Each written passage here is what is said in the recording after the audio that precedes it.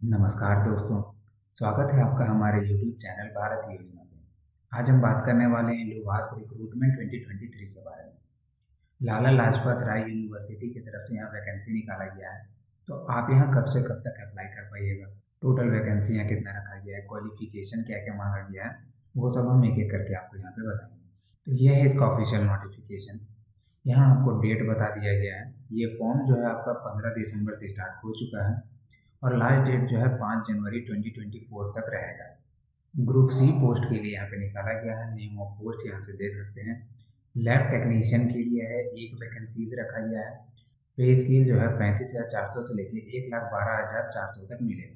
B Ed D A के लिए अगर आप अप्लाई करते हैं तो जनरल के लिए एक बी सी ए के लिए एक एस सी के लिए एक जनरल ई एस एम के लिए एक रखा गया। टोटल चार है। पैंतीस हज़ार चार सौ से लेकर एक लाख बारह हज़ार चार सौ तक मिलेगा। ट्रैक्टर ड्राइवर के लिए एक वैकेंसीज है, पच्चीस हज़ार पाँच सौ से इक्यासी हज़ार एक सौ तक।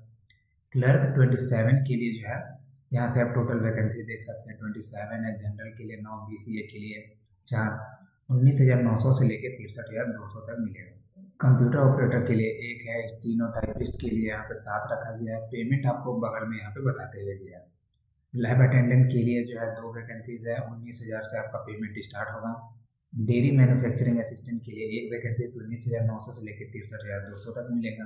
एनिमल अटेंडेंट के लिए ट्वेंटी नाइन है, अटेंडेंट के लिए तीन है, बिल्डर के लिए helper, messenger, sweeper, vehicle attendant के लिए चार है। इसेंशियल क्वालिफिकेशन तो जितना भी यहाँ पोस्ट है, सभी का एक एक करके यहाँ पे क्वालिफिकेशन बताया गया लैब टेक्नीशियन के लिए आपको टेन प्लस टू पास किया हुआ होना चाहिए साइंस सब्जेक्ट से। टू इयर्स का आपको डिप्लोमा किया हुआ होना चाहिए वेटरनरी लेबोरेटरी टेक्नोलॉजीज़ में। हिंदी या संस्कृत आपका एक सब्जेक्ट होना चाहिए मेट्रिकुलेशन में या फिर हायर एजुकेशन में। Veterinary live stock development assistant के लिए अप्लाई करते हैं तो टेन प्लस टू पास किया हुआ होना चाहिए। टू इयर्स का आपको डिप्लोमा किया हुआ होना चाहिए veterinary and live stock development का। सिक्सटी परसेंट मार्क्स के साथ आपको पास हुआ होना चाहिए, अगर आप जनरल ओबीसी से बिलोंग करते हैं तो।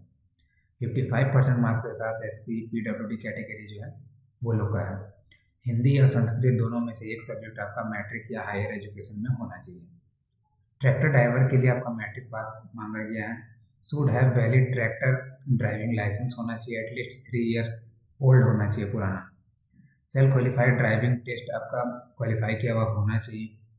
Should not be colour blind colour blind नहीं होना चाहिए। हिंदी या संस्कृत आपका एक सब्जेक्ट होना चाहिए मैट्रिक या हायर एजुकेशन में। क्लर्क के लिए आपका यहाँ पर ग्रेजुएशन मांगा गया है। फिफ्टी परसेंट मार्क्स के साथ आपको पास हुआ होना चाहिए। हिंदी या संस्कृत आपका एक सब्जेक्ट होना चाहिए। हिंदी और इंग्लिश टाइपिंग स्पीड आपका यहाँ पे मांगा गया है। Thirty word per minute each on computer with commonly use processing software computer operator के लिए यहाँ पे ग्रेजुएशन मांगा गया है। कंप्यूटर साइंस बीसीए या फिर बी किए हुए हैं। तो आप यहाँ अप्लाई कर सकते हैं। फिफ्टी परसेंट मार्क्स के साथ आपको पास हुआ होना चाहिए। यहाँ भी आपका इंग्लिश और हिंदी जो है दोनों में किसी एक का टाइपिंग स्पीड यहाँ पे थर्टी वर्ड पर मिनट होना चाहिए। स्टीनो टाइपिस्ट के लिए आपका ग्रेजुएशन यहाँ पे मांगा गया है। हिंदी या संस्कृत आपका एक सब्जेक्ट होना चाहिए मैट्रिक में। इंग्लिश शॉर्ट हैंड का स्पीड आपका एट्टी वर्ड पर मिनट होना चाहिए। लैब अटेंडेंट के लिए ten plus two science subject से आपको पास किया हुआ होना चाहिए। डेयरी मैन्युफैक्चरिंग असिस्टेंट के लिए टेन प्लस टू पास किया हुआ होना चाहिए। टू इयर्स का आपको डिप्लोमा किया हुआ होना चाहिए। Dairy technology with minimum sixty percent marks के साथ पास हुआ होना चाहिए। या फिर बीटेक किए हुए हैं dairy technology with sixty percent marks के साथ पास हुए हैं तो आप यहाँ अप्लाई कर पाएँगे। तो उसी तरह आप एक एक करके यहाँ से देख सकते हैं। सारा का यहाँ पे क्वालिफिकेशन बताया गया। एज में यहाँ पे रिलैक्सेशन भी मिलेगा। 18 ईयर्स जो है मिनिमम रखा गया कम से कम, और ज़्यादा से ज़्यादा यहाँ पे बयालीस साल रखा गया उससे ज़्यादा नहीं। यहाँ एज में छूट भी मिलेगा। अगर आप शेड्यूल कास्ट शेड्यूल ट्राइब से हैं तो पाँच साल का बैकवर्ड क्लास से है तो पाँच साल।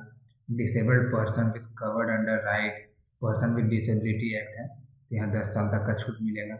वाइफ्स ऑफ़ मिलिट्री पर्सनल के हैं हुआ disabled while in military service में अगर डिसेबल्ड हुए हैं तो उन लोगों को पाँच साल का छूट मिलेगा। वीडियो है तो यहाँ पे पाँच साल का छूट मिलेगा। यहाँ पे आपका एप्लीकेशन फ़ी बताया गया ग्रुप सी पोस्ट के लिए अगर आप अप्लाई करते हैं तो मेल फीमेल दोनों के लिए यहाँ पे एक हज़ार रुपये लगेगा। फीमेल हरियाणा स्टेट जो है, उन लोगों के लिए यहाँ पे पाँच सौ रुपये लगेगा। और जो S C B C E W S candidate है हरियाणा स्टेट के मेल का ढाई सौ फीमेल का one twenty five group D post के लिए करते हैं तो मेल फीमेल दोनों के लिए छः सौ रुपये लगेगा जो अदर स्टेट से हैं। और जो फीमेल हरियाणा स्टेट के हैं, उन लोगों का तीन सौ लगेगा। और जो S C B C E W S candidate है हरियाणा स्टेट के मेल के तो उन लोगों का 150 और फीमेल के लिए 75 यहाँ पे आपका रिटर्न टेस्ट लिया जाएगा। रिटर्न एग्जामिनेशन आपका 95 मार्क्स का रहेगा। Socio economic criteria and experience आपका पाँच मार्क्स का रहेगा। स्किल टेस्ट वेयर एप्लीकेबल तो अगर आप एप्लीकेबल होंगे यहाँ अप्लाई करने के लिए तो जल्द से जल्द यहाँ जाकर ज़रूर अप्लाई कीजिएगा। और अगर आपको ये वीडियो अच्छा लगता है और इससे इन्फॉर्मेशन मिलता है तो लाइक और सब्सक्राइब ज़रूर कीजिएगा।